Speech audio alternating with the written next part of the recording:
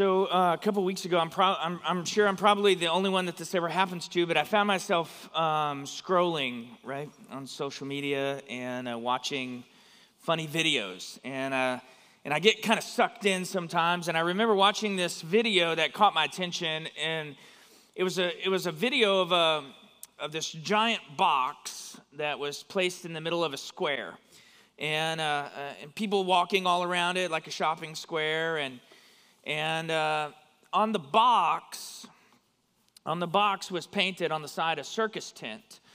And there was a sign on the bottom of the circus tent, uh, circus tent. It was actually in a different language. I'm just assuming that the translation was correct, but it said, Do not look inside. And there was a hole cut in the box about head high.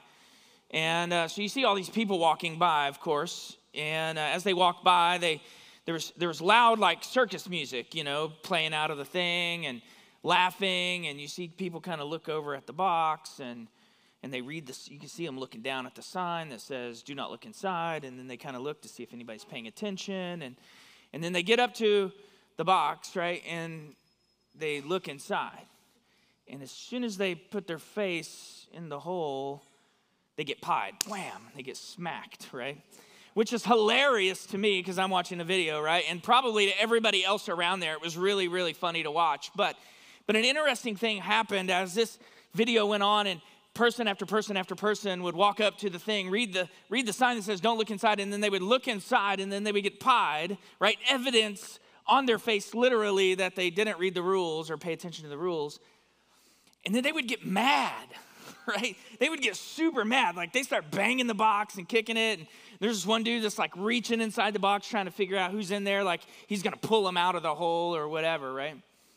And, and, and I use this story, this video, as a, as a, a little bit of a point of levity as we ramp into our scene today in our text in Acts chapter 7. And the story of Stephen, which we've been tracking for several weeks now. Uh, the scene in Acts 7, starting in verse number 54, a little bit less funny, right? Stephen, this leader in the church, this servant of the church, was falsely accused right? So, so he's on trial before the Jewish Supreme Court, before the Sanhedrin, before this guy named Caiaphas, who was the high priest, on charges that were false. It tells us, it told us in the scripture today, were falsified. So he's there for no reason, nothing he did wrong, and yet he's on trial and, and, and falsely accused, poorly tried. He gave an overwhelming defense that we looked at over the past several weeks. He left his accusers without an excuse, literally, like they had pie on their face. Everybody knew it, they couldn't deny it, right? And, and the reason for them having pie on their face was very obvious because it was their own fault. So, as we look at their response, we talked about this last week where Stephen dropped the hammer and said, you know, put all of the accusations back on them. The accused became the accuser. And as we look at their response to Stephen, Stephen's speech, similar to those who had been pied, it wasn't good, right? They got angry. And there's some specific things that we're going to see in Stephen's, the, the response to Stephen's speech, to his accusations uh, brought against the high court as they stone him, as they kill him. There's going to be some specific things that we see in Stephen's death in relation to Jesus' death an intentionally specific connection that, Luke's make, that Luke makes between Christ's resurrection and what we celebrate today in Easter, the resurrection of Jesus. And if you're a, a note taker, I, write, I invite you to, to write down our big idea today. Jesus' resurrection redefines life. Okay, let me say that again. Jesus' resurrection redefines life. We're going to be in Acts chapter 7, starting in verse number 54 through the end of the chapter. I'm going to read it, then we'll go back and kind of talk through some of the details, see how it applies to us. Acts 7, verse 54. Now, when they heard these things, they were enraged and they ground their teeth at him. They being the Supreme Court, Caiaphas and the others.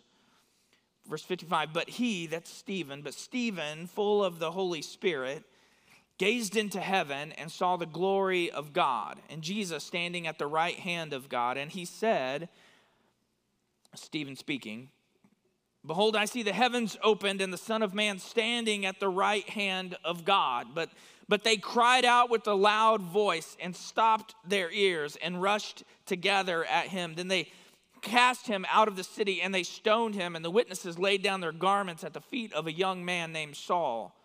And they were stoned, and as they were stoning Stephen, he called out, Lord Jesus, receive my spirit. And falling to his knees, he cried with a loud voice, Lord, do not hold this sin against them. And when they had said this, he fell asleep. Let's pray together. Father, today, as we look at your word, would you, uh, by your Spirit, open our hearts, open our ears, and our minds to what you would have to say? Holy Spirit, come and move in power. In Jesus' name, amen. So, as we kind of just go back and talk through this text, a couple different things I just want to point out. And in verse number 54, it says that that, that they were enraged. Now, there's some key words throughout, but enraged is the first that we come across. This is not the first time we've heard the Sanhedrin, the high court, say that they were enraged. This is a, uh, the, the word diaprio in the Greek, which means to cut to the heart. I was actually reading a, uh, uh, um, a, several commentaries about this, and one of the Puritan commentaries, he, they, they used the description rent with vexation. I just thought that was a cool phrase, right? Rent with vexation. They were enraged, they were outraged, right? This is exactly how they responded to Peter back in chapter number five, when Peter, also on trial before the same court, gave a very similar, shorter, but very similar type of response, and the accused became the accuser. And it actually says in, in chapter 5, verse 33 when they heard this, they were enraged and wanted to kill him. So that was the first time that we see this high court enraged, and they wanted to kill Peter, but they recognized this may not look great, so they just beat them and let them go. Now it happened again. Stephen, much longer response, but very similar response. And they are completely enraged. I don't know if you've ever heard the saying, fool me once, shame on you, fool me twice, what? Shame on me. This is number two, right? The first time they're like, okay, we're just gonna beat them and let them go, but now it happens again, and they're like, man, we gotta do something about this, so they do. Verse 55 full of the Holy Spirit. But he, full of the Holy Spirit, he being Stephen, gazed into heaven, he saw the glory of God and Jesus standing at the right hand of God. A couple theological things that I just, I just want to point out, not, not to tarry too long on these things, uh, right? But, but first it says that he is full of the Holy Spirit. And I just want, to, I just want us to recognize that, that Stephen had already been described as being full of the Holy Spirit way back in chapter number six, verse number five, right? So, so when it says that Stephen was full of the Holy Spirit, at this particular point, we're not talking about his salvation experience. Stephen had already come to faith in Christ and already received the Holy Spirit, which we believe when you place your faith and hope and trust in Jesus, the Holy Spirit comes and indwells you, right? This is the same thing that we look at in earlier in the book and with Peter in chapter number 4, verse number 7 it says that Peter was filled with the Holy Spirit right? And he but but we know peter was present on the day of pentecost. In chapter 2 number verse number 4 it says that when the holy spirit came it indwelled them. So peter had already received salvation had already received the indwelling of the holy spirit. Yet in chapter 4 he received a, a fresh filling if you will right? Uh, some, some freshness from the Holy Spirit to come and allow Peter to speak with clarity and to do the things that were right in front of him that God needed him to do. It's the same thing with Stephen full of the Holy Spirit, a fresh filling, a fresh dose to allow Stephen to do the things that God wanted him to do. And then it says that he looked into heaven, which everybody believes that this is just a gift from God, that God allowed Stephen a glimpse into the heavens, and he sees Jesus, which is important, we'll come back to in a minute, but he sees Jesus standing at the right hand of the Father. This is there's a lot of references to Jesus being at the right hand of the Father, but this is the only reference to Jesus standing at the right hand of the Father. Normally, Jesus is sitting at the right hand of the Father. Culturally, what would happen in this particular culture, first century, and in a trial or somebody bringing something up in a public setting, if you were to agree with that, you would stand. It was a way to show your approval, to show your support behind this person. Jesus symbolically standing, Stephen sees. Verse 57, it says, four, there's three, three verbs here in verse 57 that they respond to Stephen saying, I can see heaven and I see Jesus standing at the right hand of the Father. It says that they, being the Supreme Court, those around the Sanhedrin, they cried out with a loud voice, they stopped their ears, and they rushed together at him. So they didn't want to hear from Stephen anymore. They cried out, they yelled, they screamed with a loud voice to overcome anything that he might say. They, they wanted to hear nothing more from Stephen. They had made up their minds. They stopped their ears, symbolically, again, kind of like covering your ears. I don't know if you guys remember one of the earliest uh, television shows I remember watching as a kid was Sesame Street, right? You remember Sesame Street?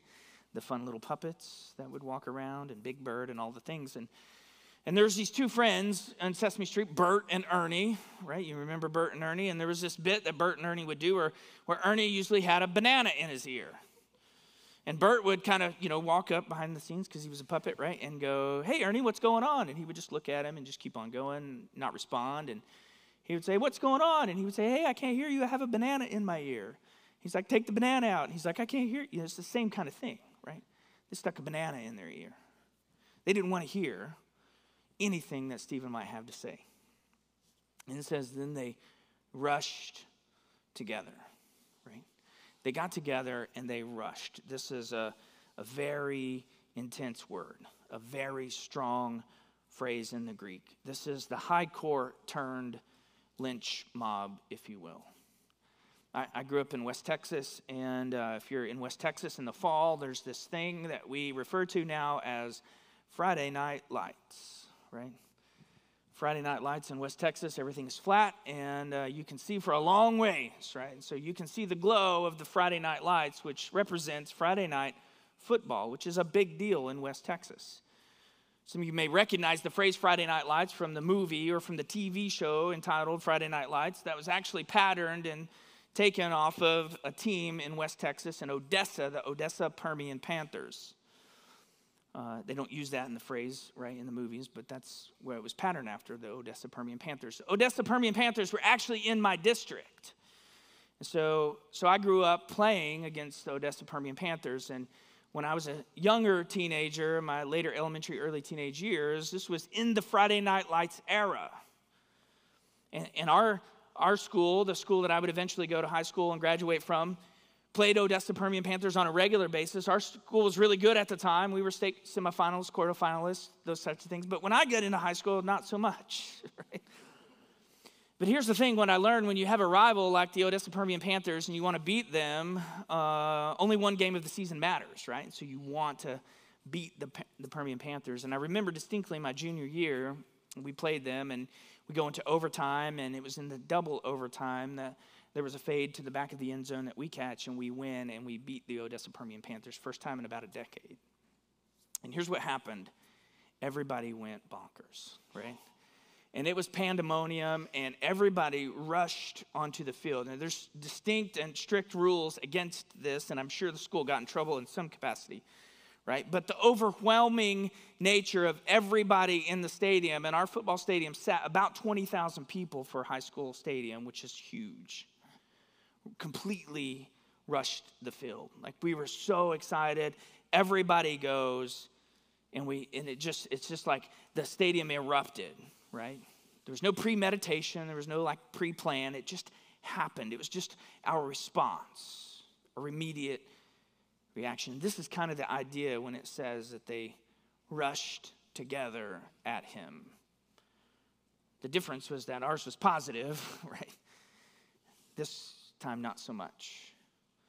It tells us in verse 58 that they cast him out or they drug him out of the city, and, which is kind of a funny little phrase because most of the time we skip right over that. But there's a Jewish law actually against stoning somebody in the temple or in the city, and so they would take them out. And so it was like, they're going to disobey all of the laws except for this one. We're going to kill this guy falsely against these false accusations, but we are going to go ahead and obey the laws to drag him out so we have the appearance of doing things the way that we're supposed to. They drag him out of the city. They took their garments off and they stone him. Now, we often think of stoning uh, maybe as something fairly quick. Um, big stones, maybe, you know, we're thinking resurrection day. The stone was rolled away. This is a giant stone that took a bunch of people. But what we're talking about here is a very long, painful, intentional death, right? Where they would take somebody outside of the city and then they would pick up rocks and of varying sizes, but rocks that they could intentionally and individually throw from maybe golf ball size to baseball size, and they would begin to hurl them at the person accused, the person condemned. They would take their jackets off to do this because they were throwing multiple times, right? And it says that they laid them at the feet of this young man named Saul, which is kind of in movie world, they call this an Easter egg appropriately, right? Today, an Easter egg of a hint of something that's going to come into play later on down the road. This young man named Saul, who it tells us in chapter 8, verse 1, that he agreed with this execution. And as they were stoning him, Stephen speaks and he says two things. He says, Lord, receive my spirit. And then he says, Don't hold this against them. And it tells us that he fell asleep. He died. It's a softer way to say that they killed him. So when, so when we take this story and we put it in the context of today in our series and what we're trying to understand and recognize that Jesus' resurrection redefines life, we see a lot of similarities between Stephen's life and Jesus' life. And, and Luke, the author of Acts, intentionally connects a lot of dots. Right? So when we started Stephen's story several weeks ago, I said Stephen was the most Christ-like person that we've seen so far in the New Testament, and it's true. Right? Stephen was described, as was Jesus, full of grace, full of power, the Holy Spirit. Stephen served big, he loved bigger, he was falsely accused, unfairly tried, brutally and unjustly killed, just like Jesus. These two phrases, you know, is facing death, mimic what Jesus said on the cross.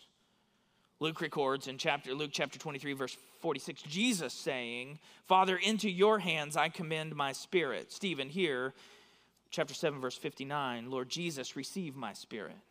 Jesus said, "Father, forgive them, I know for they know not what they do." Luke 23 34. Stephen says, Lord, do not hold this sin against them. Acts 7 60.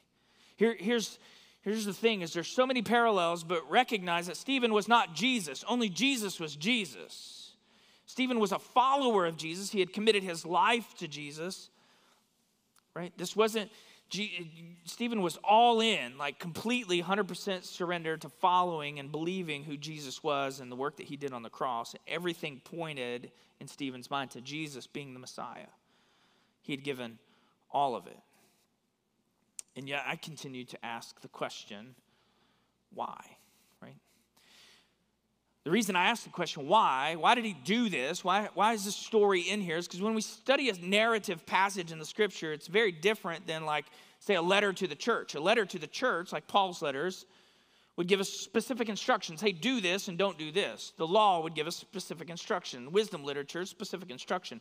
A narrative is just telling a story.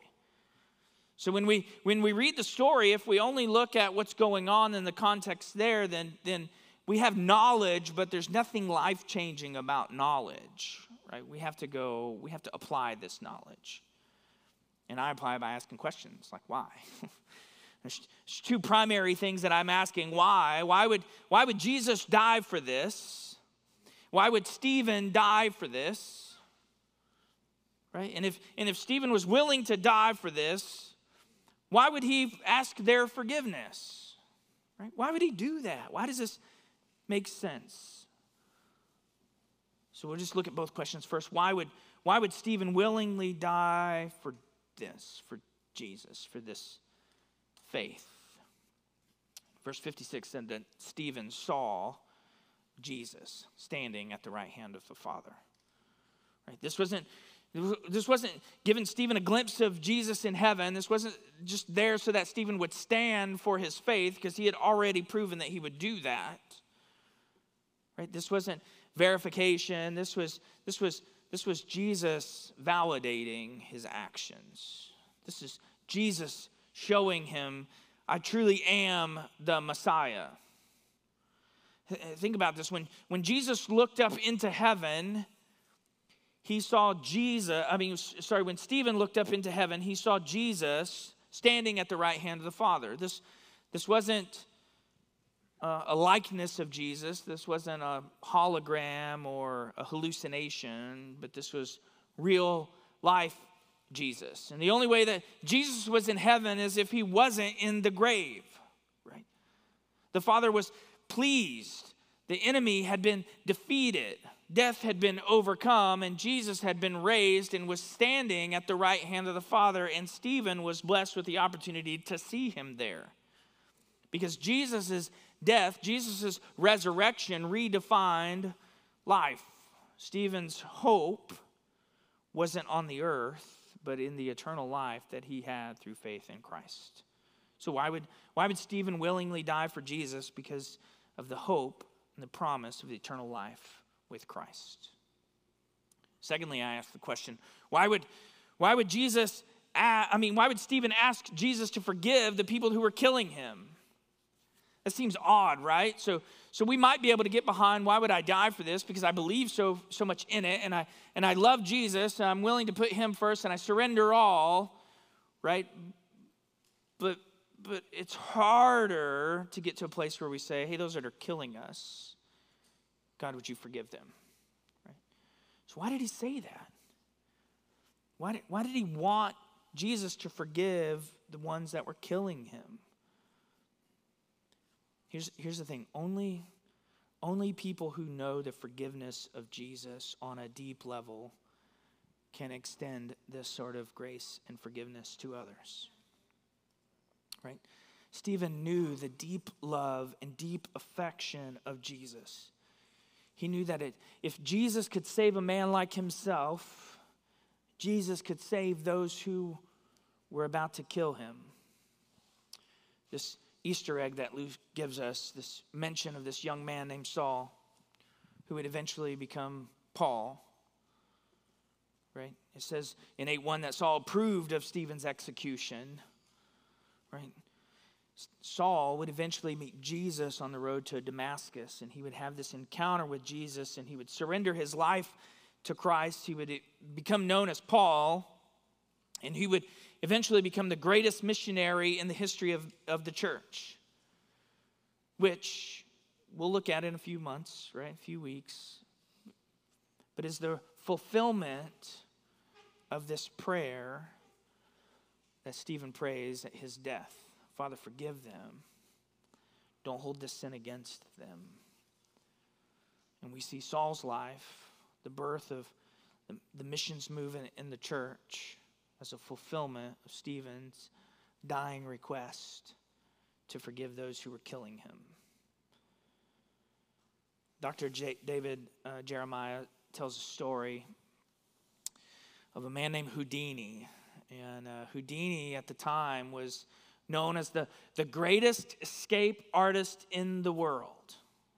He could escape anything and he would do it publicly and it was a it was a circus type act if you will right? They they could put handcuffs on him and houdini would get out. A straight jacket with handcuffs no problem. A jail cell he once locked himself inside of a coffin and escaped. All within like under a minute right? This was houdini the, the greatest escape artist ever known right there's only one recorded instance in which he failed to escape Houdini was traveling in the British Isles. He goes to this small town, and because he was somewhat of a celebrity at the time, they, they all came out to greet him, and the mayor of the city, and all the things. And, and he gets invited to escape from their local jail. And so he kind of just goes along with it. They take him to the jail. He looks at the locks, and he thinks to himself, like, this is the simplest, easiest lock I've ever picked. Give me like 15 seconds, and I'll be out of this thing. So they put him in the jail and they, they shut the door and he begins to go to work and 15 seconds go by, 30 seconds go by, 60 seconds go by, a couple minutes go by, and he's trying and trying and trying and still not unlocking the lock. He worked and worked and worked, and after two hours, as the story goes, trying unsuccessfully to pick the lock, he gives up. And exhausted and exasperated, Houdini leans against the door, conceding defeat. And when he does, the door opens because it was never locked in the first place. Often, like the Jews of Stephen's day, we stay behind an unlocked door. Right? Jesus has unlocked the door to freedom, to restoration, to victory. All we have to do is lean on him. Dr. David Jeremiah says one of the one of the enemy's greatest deceptions is to convince us like Houdini that we have to work and strive to unlock the door of our salvation. To pick the lock by earning God's love by our good works and good favor and by doing good things, but really all we have to do is lean on Jesus and the door will simply open. Salvation is not what we do to save ourselves. Rather, it's receiving what Jesus has already done on the cross to save you. Because Jesus' resurrection redefines life. Today, on this Easter morning, I would say this the most God honoring, God glorifying thing that we can do is to die to ourselves the way that Jesus died to himself on the cross. For the glory of the Father, for the salvation of mankind, we simply lean on him often we, we wonder how, how can i how, like there's so many things in my life how, how can jesus fix all of this? I don't know what it means to trust in him. How can i do this? How can i give up our sin? How can we give up our hurts and our pains? How can we give up a relationship or feelings that we're feeling or all of the things? And we get in our hole and we go can god really do this? And all that we're trying to do is pick the lock that's already been opened. We just simply lean on Jesus, the one who can make all the wrong things right. Otherwise, we're going to continue trying and trying and trying to doing good and looking the part and coming and taking pictures at the photo booth on Easter and saying, He's risen, He's risen indeed, right? But we've never actually trusted in Jesus. And like Houdini, we'll never escape, we'll never succeed, just like those who killed Stephen. So I invite you today, holding nothing back, to simply lean on Jesus, put your faith and trust and hope in Jesus, the one who can save, who has the power and the authority, who paid the price on our behalfs for our salvation. Will you trust in Jesus today?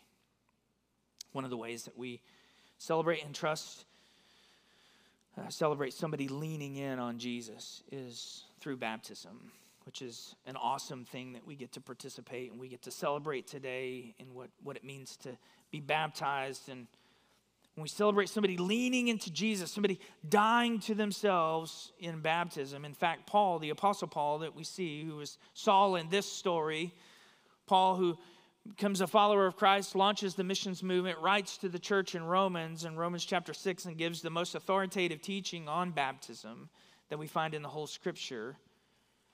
And, and this, symbolically, what he says is when we're, when we're baptized, we're symbolizing our death to our sin. We're symbolizing that we no longer trust in ourselves, rather, we're trusting in Jesus. And Paul uses the phrase that we use during baptized, baptism buried with Christ in, through baptism, raised to walk in newness of life. Paul goes on to tell us in Romans 6 that a Christian must count himself dead to sin, but alive to Christ. And he implores us as followers, right? He implores us to, to not let sin reign in our bodies any longer. Earlier, I said the most God honoring, God glorifying thing that we can do is to die to ourselves the way that Jesus died to himself on the cross. The best way, I think, the most obedient way for us to to celebrate that is through baptism, right? So I'm going to pray, and uh, we're going to watch and celebrate with the Pollock family as three of their children who've come to faith in Christ get baptized today. And, and I just invite you as you uh, watch and we experience and see, uh, celebrate this baptism, to just be reminded of yourself Like, first, have you trusted in Jesus? Like, have you put your faith and hope and trust in Jesus? Have you died to yourself, if you will? And if you have, right, then, then are you letting sin reign in your body, as Paul implores us not to do, right? So, y'all check out this video, then we'll see our baptism and we'll get going.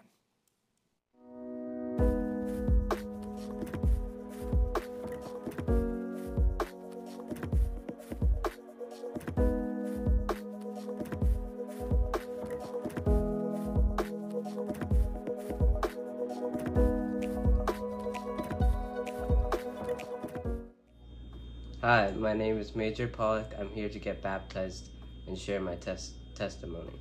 Well, I first started listening to Christian rap, which is kind of funny because my older brother Christian taught me about it and showed me about it, and it kind of helped me like learn more about Jesus, and that's what kind of started. It it all started from there, and me listening to the rap helped me just want to read the Bible more, and then I finally wanted to get baptized and show my dedication to God.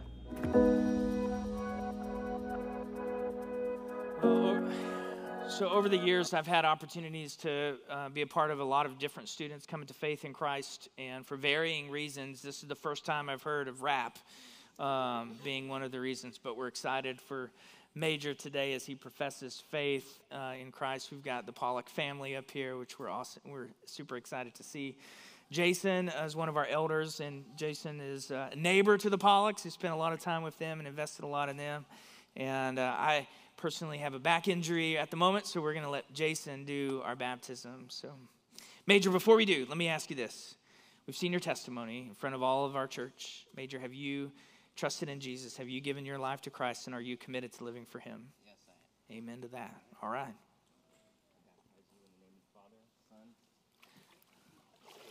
Yeah.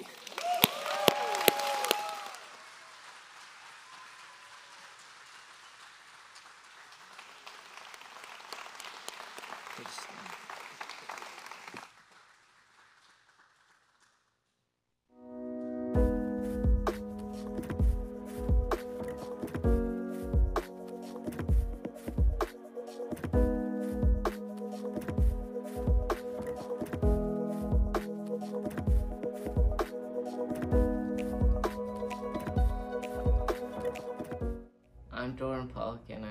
get baptized and share my testimony of how I accepted Jesus. I accepted Jesus when I was reading a book about a young lady in in Sunday school with listening to her Sunday teacher. Her teacher told her that just because her parents were Christians doesn't mean that she is. And then I realized that I wanted to become closer to God. So I started repenting of my sins and thanking Him for everything He's given me. This is my testimony, and I'm here to get baptized.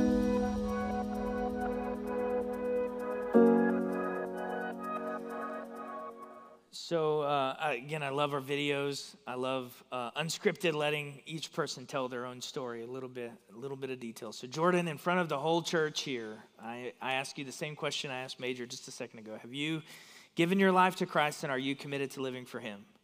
All right.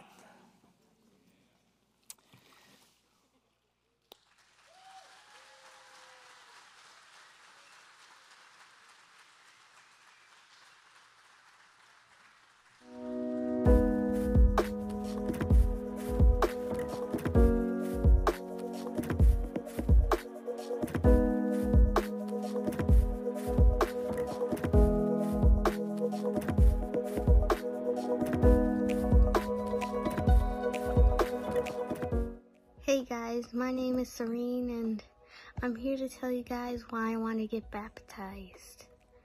I watched a movie called Released from Shame and kind of led me closer to God. And sometimes when I'm really mad or sad, just think of Him and it kind of calms me down. So I'm ready to accept Jesus into my heart. And I'm ready to show you guys today.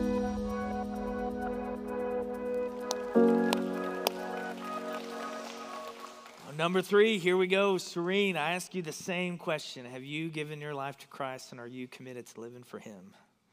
We're super proud of you and super excited. So, Jason, if you'll do the baptism.